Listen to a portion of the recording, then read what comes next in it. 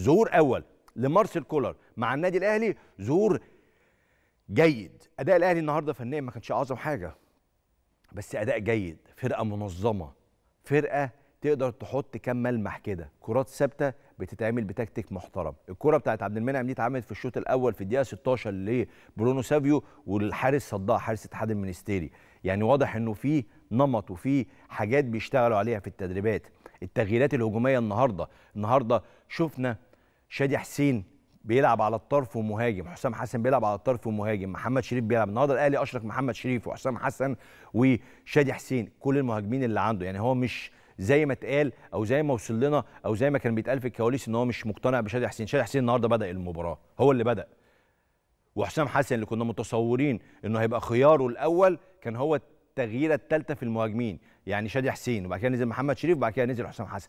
فهو واضح إنه هيستخدم كل أوراقه. هو واضح جدا إن هو مش من المدربين اللي بيعتمد على 12 13 لاعب بيشتغل بيهم طول الوقت. لا هتشوف تدوير كتير في الأهلي. فده ملمح. لما بقول ملمح ليه بقول ملمح؟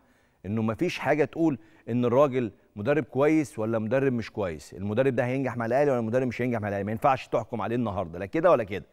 بس تبدا تشوف ملامح.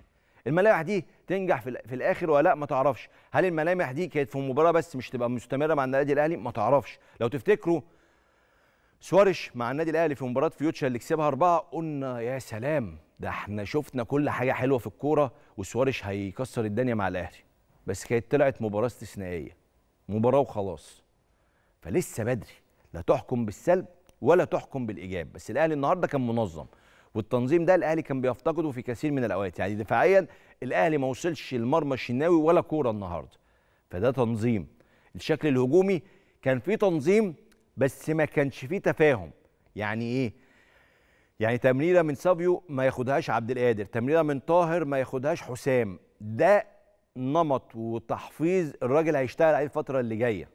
لو اللعيبة دي حفظت الأسلوب ده هتشوفوا الأهلي بشكل مغاير تماما وبقى فيه كرة ممتعة مع النتائج الجيده فده النادي الأهلي. محمد عبد المنعم كعادته يعني بقى خلاص متخصص كرات ثابتة أي كرة هوائية محمد عبد المنعم رائع فيها ومميز فيها وقدر يحسم الفوز في الدقيقة الثالثه من الوقت المحتسب بدل الضائع. كعادة النادي الأهلي بلس 90 يقدر يسجل في الأوقات الحاسمة دي.